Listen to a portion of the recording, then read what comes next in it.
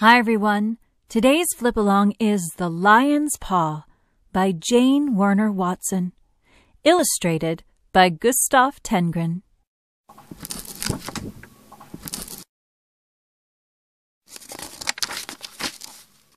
Ow! roared the lion. There is a thorn in my paw. Who will take it out? Not I, said the solid rhinoceros.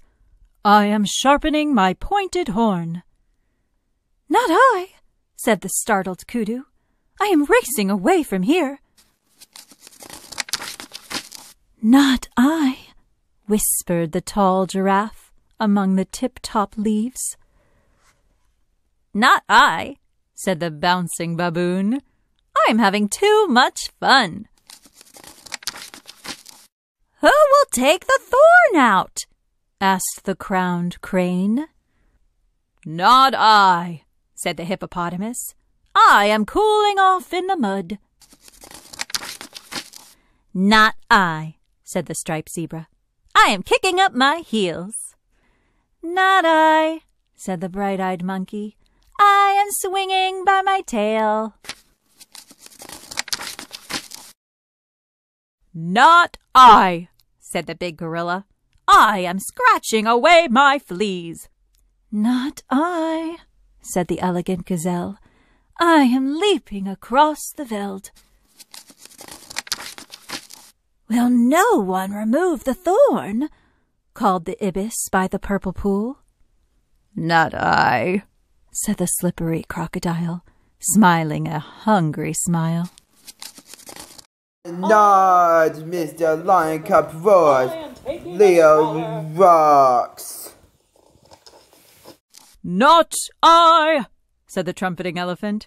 I am taking a shower. I, Mr. Black Stripy Hyenas. Too much work to do.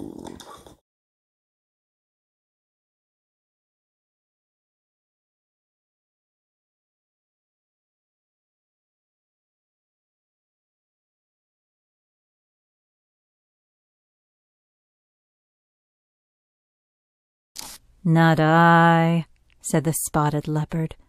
I am slinking through the shade. Not I, said the solemn buffalo. I have too much work to do. Who will help the lion? cried the ostrich running over the desert sands. Not I, said the sulky camel. I am chewing my chewy cud. Not I, said the swooping vulture. I'm busy hunting a meal.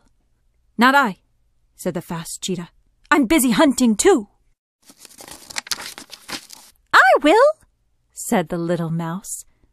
And she did.